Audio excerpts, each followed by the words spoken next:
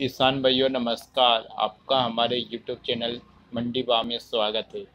तो किसान भाइयों, आज के इस वीडियो में हम बात करने वाले टेक टॉपर और टेक स्टार्स के बारे में। जी हाँ दोस्तों, आपने इन दोनों के नाम सुने होंगे टेक टॉपर और टेक स्टार के। तो दोनों में क्या अंतर है? तो दोस्तों, इनके अंतर के बारे में बात करने वाले दोनों एन के हैं, लेकिन दोनों में मात्राएँ अलग अलग हैं और दोनों में पोषक तत्व भी अलग अलग हैं। तो दोस्तों, इनके अंदर क्या क्या मौजूद है और इनकी प्राइस क्या रहेगी, इनका डोज क्या रहेगा? तो दोस्तों, सब कुछ हम इस वीडियो में बात करने वाले हैं। दोस्तों, हम वीडियो को शुरू करते हैं। उसके पहले अभी तक आपने हमारे चैनल को सब्सक्राइब नहीं किया है तो सब्सक्राइब कर दीजिए और उसके पास के घंटे के निशान पर भी आप अवश्य बटन दबा दीजिए ताकि आपको हमारे आने वाले वीडियो के नए नोटिफिकेशन जल्दी से जल्दी मिले। दोस्तों, आप हमारे वीडियो में देख पा रहे हो, सबसे पहले हम बात कर लें टेक टॉपर के बारे में। जी हाँ दोस्तों, टेक टॉपर के अंतर्गत भी एन पी के हैं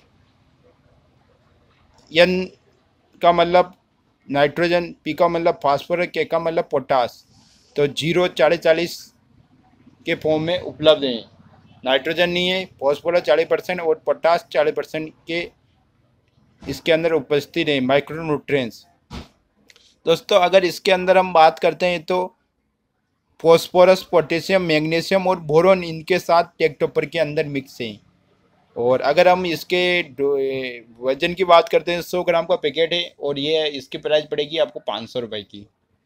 दोस्तों, आप इसका सभी प्रकार की फलों वाली फ़सलों, सभी प्रकार की अनाज वाली फ़सलों, सभी प्रकार की सब्ज़ी वाली फ़सलों में इसका आप यूज़ कर सकते हैं। जैसे कि आप गेहूँ की फ़सल, टमाटर, आप टमाटर के अलावा अनार, सेब, अंगूर, आलू सलजम मूली, टमाटो और आप आदि फ़सलों में इसका आप यूज़ कर सकते हो। दोस्तों, अगर हम इसके अलावा टेक स्टार की बात करते हैं टेक स्टार ये भी बहुत ही अच्छे एन के माना गया है।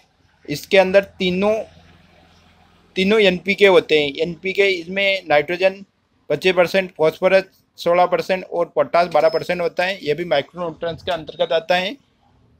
और दो, दोस्तों, इसका उपयोग आप सभी प्रकार की फ़सलों, अनाज वाली फ़सलों और सब्ज़ी वाली फ़सलों में इसका उपयोग कर सकते हैं।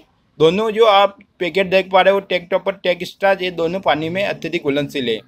तो दोनों की अगर हम डोज की बात करें, दोनों का डोज एक ही है प्राइस एक ही है डोज एक ही है तो डोज रहेगा इसका तीस ग्राम पर टंकी पंद्रह लीटर पानी में आपको तीस ग्राम डालना है। और दोस्तों, इसके अंदर हम बात करते हैं तो इनके अंदर पोषक तत्वों में अलग अलग मात्रा हैं। इनके अंदर ओनली एन के साथ में बोरोन मिक्स है, इनके अंदर टेक स्टार के साथ में बहुत सारे हैं।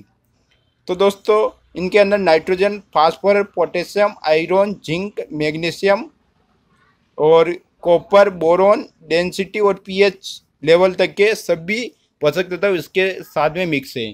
तो इसकी प्राइस भी पाँच सौ रुपये हैं। तो दोस्तों, जानकारी अच्छी लगी हो वीडियो को लाइक करना, चैनल को सब्सक्राइब करना। हम मिलते हैं अगले वीडियो में। धन्यवाद।